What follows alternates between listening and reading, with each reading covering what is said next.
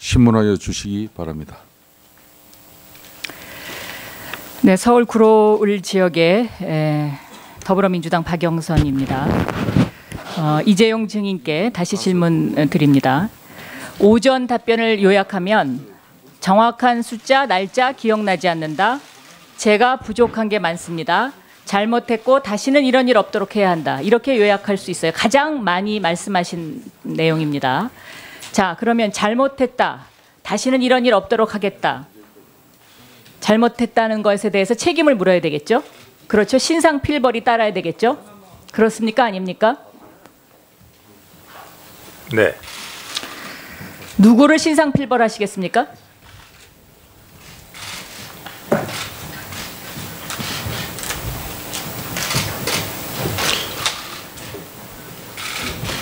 국정 조사도 아직 진행 중이고. 네? 국정 조사도 아직 진행 중이고 어, 검찰 조사 또 앞으로 특검 조사가 어, 있는 것을 예상하고 있습니다. 어, 우선 조사를 어, 잘 받고. 자, 예, 아니요 답변을 해주세요. 자꾸 엉뚱한 대답을 하시지 마시고 연습해온 답변을 하시려고 자꾸 생각하시지 마시고 자, 오전 답변을 정리해 보면은요.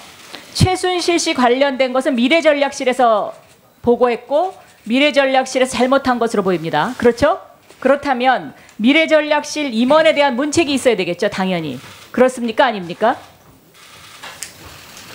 지금 조사가 진행 중이기 때문에 자, 이것은 미래전략실 임원이 업무상 횡령 배임죄에 해당됩니다. 그렇죠? 자, 삼성전자가 독일로 자금을 보냈습니다. 누가 결제했습니까? 제가 세, 세 분, 어, 어떤 자금을 보냈다는 건 누가 무슨... 결제했습니까? 삼성전자에서 독일로 보낸 자금 결제를 하지 않았습니까? 누가 결제했습니까? 어, 제가 정확히 한 사람은 누군지 모르겠습니다. 알아보겠습니다. 삼성전자 부회장 맞습니까? 네, 맞습니다. 삼성전자 부회장이 돼서 지금까지 누가 결제했는지 그걸 파악을 못하고 계세요?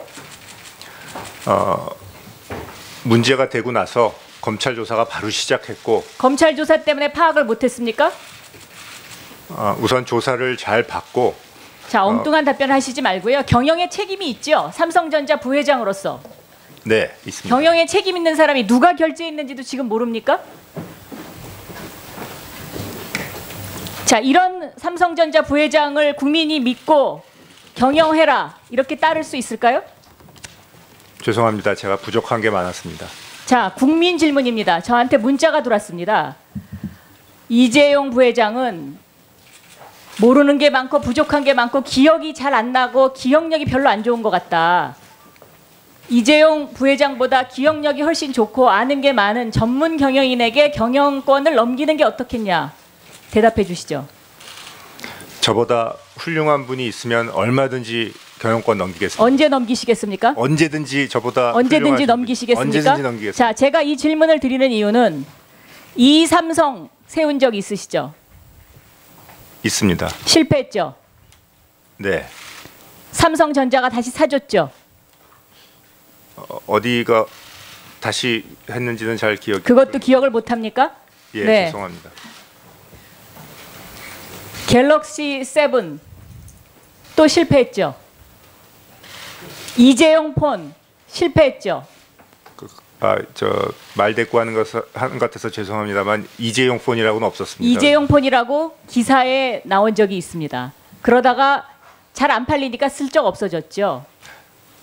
그런 적 없습니다. 그런데 아까 오전에 대답을 뭐라고 하셨냐면 앞으로 미래 가치를 높이겠, 높이겠다고 하셨어요. 이런 분한테 어떻게 미래 가치를 우리가 기대할 수 있을까요? 제가 항상 어, 하는 일에 제일 중요한 게 저보다 우수한 분을 찾아서 저희 회사로 모시고 오는 게 제 일입니다. 네. 말씀하신 대로 얼마든지 제가 저, 보다 우수하신 분들이 계시면 어, 다 넘기겠습니다. 네, 말씀 잘 해주셨는데요. 자, 미래 가치를 높이기, 높이기 위해서 삼성물산에서 한 일이 뭡니까? 전 임직원들이 어, 지금 좋은 회사를 만들려고 어, 바이오에 투자한 것이죠. 열심히 노력하고 있습니다. 네, 바이오에 투자한 것입니다. 국민연금하고 만나서 아마 그 얘기를 하셨다고 제가 들었는데 이 삼성 바이오 로직스 이것도 특혜 상장이 됐습니다. 아십니까? 어, 제가 자세한 부분은 아닌데 그렇지 않다고 아는 게 뭐가 있습니까 그러면 죄송합니다. 네?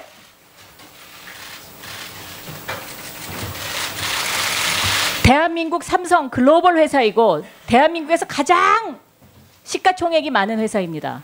그런 시가총액이 많은 회사에 주주가 나와서 부회장이 나와서 모르겠다고 대답하는 것 그거 잘하는 겁니까? 열심히 답변 드리겠습니다. 자, 홍한선 본부장이 5월 26, 2015년 5월 26일 날 삼성물산과 제일모직 합병 발표한 날 김신 사장과 만났죠. 그렇습니까? 아닙니까?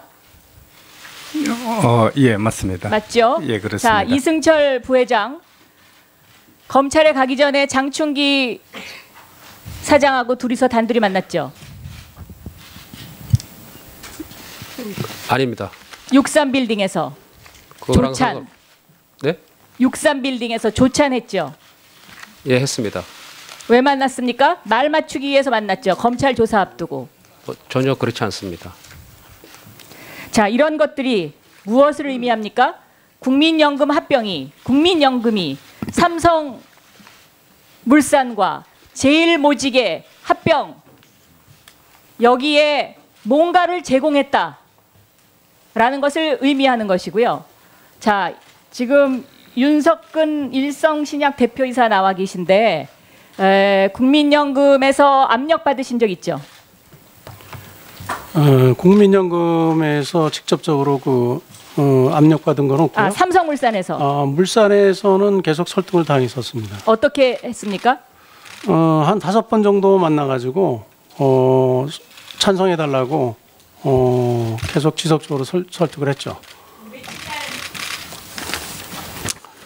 어,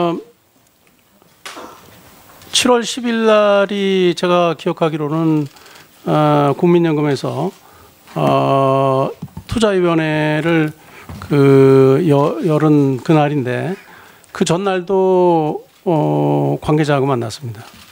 뭐라고 하던가요? 예. 어, 제가 그 이렇게 얘기를 했죠. 그니 어, 만약에 연금에서 반대를 하게 되면 내 찬성이 무슨 소용이 있겠냐 이렇게 물어봤더니 어, 영겁은 다 됐다고 이렇게 얘기를 하더라고요. 그래서 다시 물어봤죠. 이게 그 찬성의 의미냐 그랬더니 그렇다고 그랬습니다. 국민연금이 투자위원회를 거치기도 전에 국민연금 찬성할 거다. 그리고 일성시장에 와서 찬성해달라는 그 증언입니다. 지금. 예. 존경하는 박영선 의원님 수고 많이 하셨습니다. 어, 국민